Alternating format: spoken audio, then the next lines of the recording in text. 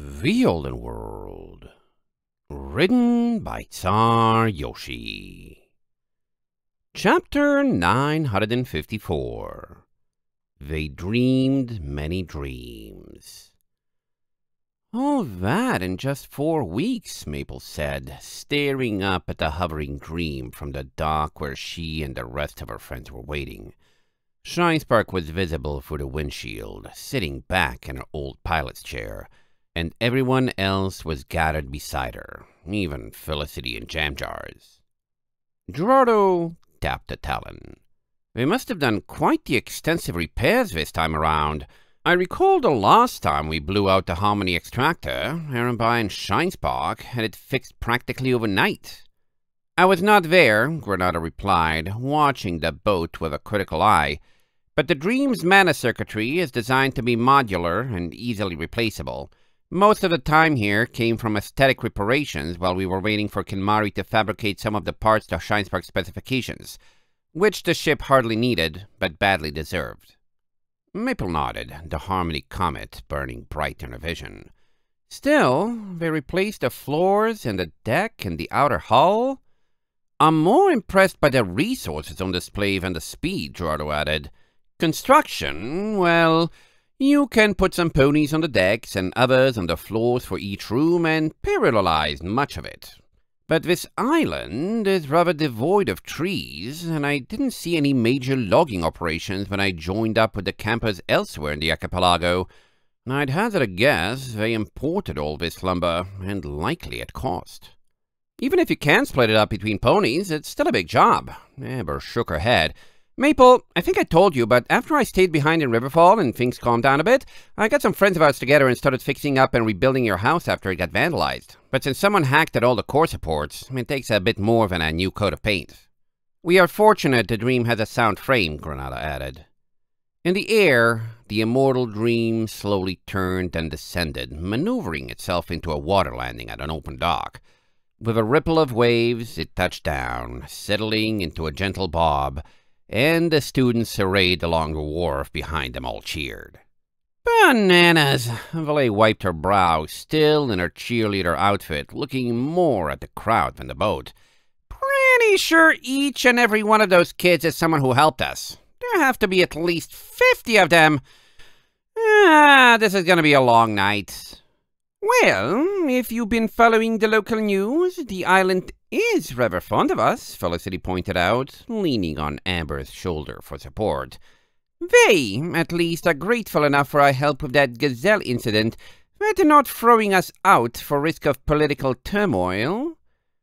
The sun was low enough on the horizon that it had sunken behind the shoreline hill, illuminating the dream with sunset rays while bathing everyone watching in cool shadows. In the oncoming twilight, it was slightly more difficult to make out student faces than it was during the day, but some still stood out as more familiar than others. As the ship settled into the water and Shinespark worked to extend the gangplank, Ebb stepped forward, flanked by Flo and a few other students. Lucky for us, we're not agents of political turmoil, he greeted, blowing on his bangs. Hey, Fixing your ship might have taken some doing, but it means we got our names on a piece of Northern history. How many of these folks do you think will one day tell their kids about the time they fixed up the airship of some important Northerners during their schooling? Because I know I will. Valet wiggled their pom-poms. Well, someone's considerably less starstruck than when we first met. What's up with that, Chief? Save it, Ebb shook his head. It's called getting to be a part of history instead of an observer. Someday, I'm to be able to say, hey, I knew those guys. Hi, and what he said. Uh, Flo waved tensely, looking somewhat frazzled being at the front of the group. To their side, Shinespark stepped onto the dock, engine grease in her mane and smudges all over her face. She briefly surveyed the crowd, knowing exactly how to look exhausted without looking weak. Well, ponies, this is what you've done. Speech? Gerardo chirped. Speech! Speech! Several students echoed, starting a chant. Shinespark smiled a little smile, letting them carry on for a moment before bringing order with a loud clear of a throat. I want to tell you all a little about this history of this airship, she began, stepping sideways so that her cutie mark was plain to see. In the northern world, airship technology is only a few decades old. My home, Sosa, tried to be at the leading edge of air travel development, but their program was shuttered after a major accident over 20 years ago. Shinespark started to pace, walking from side to side down the dockside and its crowd of students. A few professors were there too. That program's knowledge passed into the hooves of the few individuals who still cared to make it happen all by themselves. Myself, my father, my brother, we spent years researching, building, breaking into new technologies we often didn't even know would exist, let alone be possible to harness. She turned around and resumed her walk in the other direction. The inner hull of this ship is indestructible by every metric we had access to. A stallion named Mobius developed it over a decade, trying to revolutionize water travel and save his industry amid the advent of airships. The outer hull is braced with self-reparation runes, technology from Yakyakistan that its people created so they could build even in the harshest conditions. The interior, the rooms and walls and cabins were made by boat builders who came from long lines of boat builders and had lost their jobs and needed a masterwork so they could hold on to their pride and their skills. For years and years after she was seaworthy, they didn't put down their tools because there was still more they could pour into the ship. Shinespark stopped and breathed, gazing out at the floating ship its orange comet illuminating the shoreline like a celebratory bonfire. The engine is my father's creation and mine. This entire ship is made from the dreams and wishes of many different groups, and now you've added yours as well.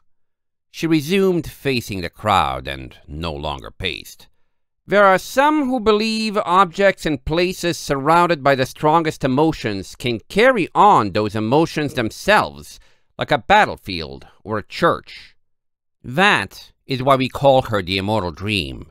She carries in her circuitry and woodwork and hull and trim the hopes of so many contributing ponies. Your names are written on her as well now, and the goodwill with which you've helped us for nothing in return will live on and sustain us when our road gets hard again. We won't forget this, and neither will the dream. Thank you. She finished with a bow to loud hoof stomps of applause. Now that was a speech, someone whooped from the crowd. You're good at this, you know. Amber gave Shinespark a grin and a wink.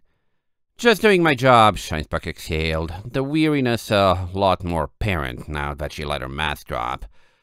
Oh, that was a long four weeks. Gerardo, Amber, Valet, could you organize a deck party for everyone? We won't be setting out until tomorrow afternoon, since there's some final polish and loading fresh supplies to do, and I need to do some meetings in the morning. Only if you clean yourself up, Gerardo chided. Wouldn't want a new beds dirtied already. But otherwise, of course, let me just round up a few volunteers to go on a supply run for some food and seating. Yeah, uh, Valet grinned awkwardly in her cheerleader costume as Gerardo and Amber left to consort with the students and rally a party. Sounds like a blast, but I made some promises I gotta keep. You don't mind, right? Shinespark raised an eyebrow. You were serious when you promised to go out with them to motivate them? Valet whistled innocently. There are dozens of them, Shinespark said flatly, and we didn't press this hard to finish so we could sit around and dawdle once it was done. We want to make it across the border before security tightens significantly in Gazelle's aftermath. Princess Celestia gave me a letter with the royal seal that should get us through any trouble, but I'd rather not have to use it in the first place. Valet nodded along like a bobblehead as Shinespark talked. Oh, yeah. Nope. Heard you loud and clear. One night for however many this is? She shrugged at the crowd, who were already enjoying themselves on the dock. I'm a speedy girl. Shinespark gave her a look. Seriously, I'm kinda counting on a few of them to bail, Valet admitted. Like, the ones who don't want to stay up until four in the morning to get a shot at me, or the ones who don't swing this way. but I'm sure it'll work out. Shinespark's expression didn't change. I still owe you that kiss I promised four weeks ago, Valet finally said. The one I said I'd save from when we got back from the flame. That was what Shinespark was waiting for.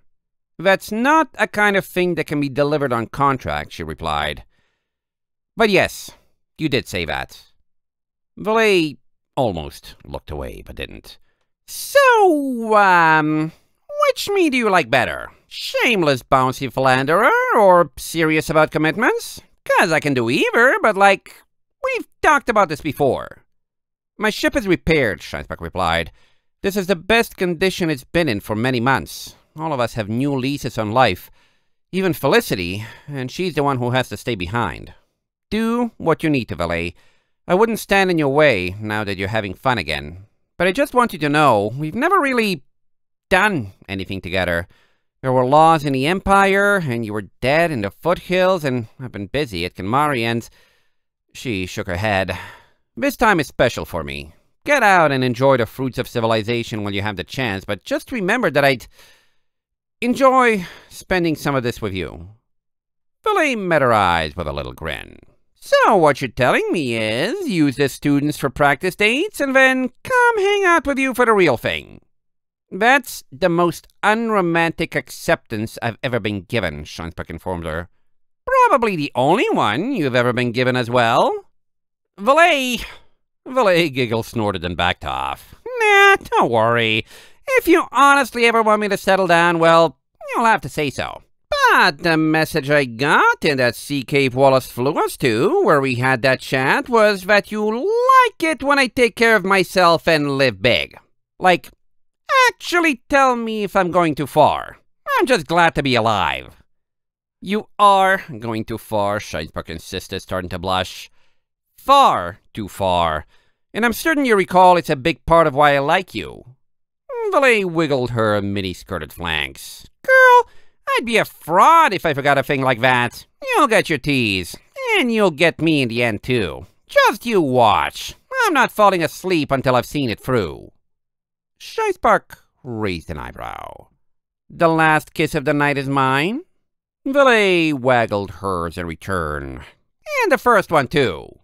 She darted forward and caught her best friend in an embrace, too swiftly for Shinespark to muster any sort of reply.